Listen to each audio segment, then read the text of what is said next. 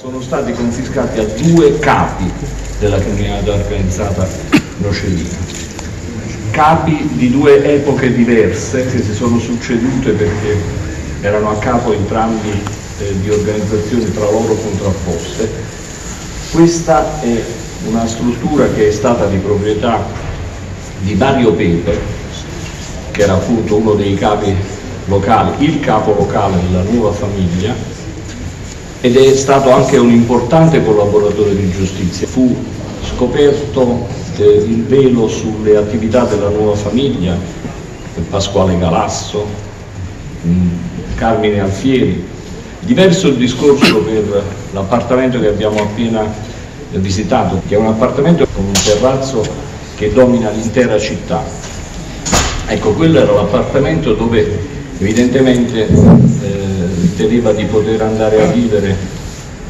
con la sua famiglia, con i suoi cari, Salvatore Di Maio, che è stato il capo dell'organizzazione precedente alla nuova famiglia. Qui la Camorra ha perso ed i beni appartenuti all'ex boss Mario Pepe, all'ex capo della Camorra organizzata Salvatore Di Maio, sono oggi simboli di legalità e di libertà lo Stato cede forte la determinazione nel rappresentare alle comunità una presenza costante anche attraverso le confische e soprattutto i percorsi per fare di questi immobili delle strutture a fini sociali. Oggi a Nocera Inferiore l'inaugurazione di una struttura in via Studi destinata all'accoglienza di donne vittime di violenza ed un appartamento in via Fucilari per dare riparo a nuclei familiari in caso di emergenza abitativa da bene confiscato a bene comune, un lavoro importante, quello dello Stato, le ricchezze delle mafie che si sono trasformate in luoghi di accoglienza, di supporto, opportunità lavorative e di partecipazione civile. Ed è determinante anche la simbologia che rappresenta per i territori sapere dove le mafie soccombono e dove i boss perdono la propria supremazia. Le storie di sangue e di morte, le storie di terrore che cedono il passo al riscatto dei territori ed una rinascita sotto il simbolo della giustizia e dunque anche tracciare le figure dei boss cui i beni sono stati sottratti significa tracciare le linee di nuovi disegni proprio per le comunità che sono legati ormai alla legalità ed alla libertà. Questa è addirittura una confisca del 1987 definitiva, ma addirittura il sequestro risale all'85. Diciamo che il eh, capo della nuova camorra organizzata a Nocera Inferiore in tutto l'agro nocerino sarnese, Salvatore Di Maio, eh, era eh, appartenente appunto alla, alla, stagione della nuova camorra organizzata, stagione della quale io non mi sono occupato, in quegli anni io manco a farlo apposta facevo il giudice di sorveglianza, magistrato di sorveglianza e quindi ho conosciuto Salvatore Di Maio nella fase iniziale della sua detenzione come giudice di sorveglianza, ma non mi sono mai occupato dei processi che erano già tutti conclusi,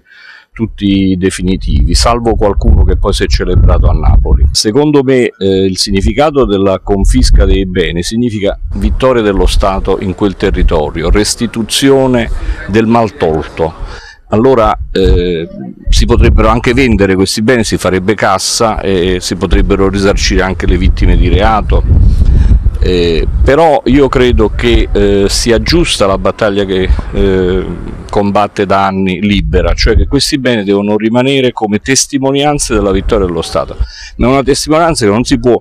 liquidare con la battuta beni confiscati alla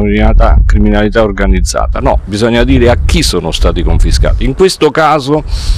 è più difficile, devo dire, ho qualche difficoltà a dirlo, perché Salvatore Di Maio ha pagato quasi interamente il suo debito eh, con lo Stato. Eh, oggi eh, sconta eh, la semilibertà, eh, gli ergastoli, cinque ergastoli che gli sono stati inflitti e il suo avvocato, l'avvocato Antonio Sarno,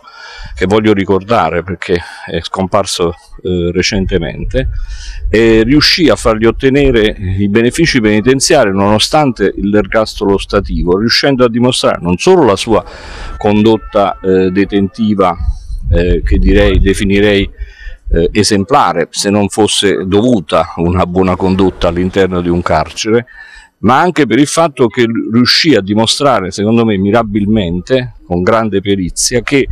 Salvatore Di Maio, anche se avesse voluto, ormai non poteva più collaborare con la giustizia perché ormai tutti i fatti che risalivano a quell'epoca, nella quale lui era stato coinvolto, erano stati tutti già chiariti fino in fondo, grazie ai collaboratori di giustizia devo dire, ma che a quel punto lui non poteva aggiungere proprio nulla e questo fu un capolavoro secondo me da parte dell'avvocato Sarno.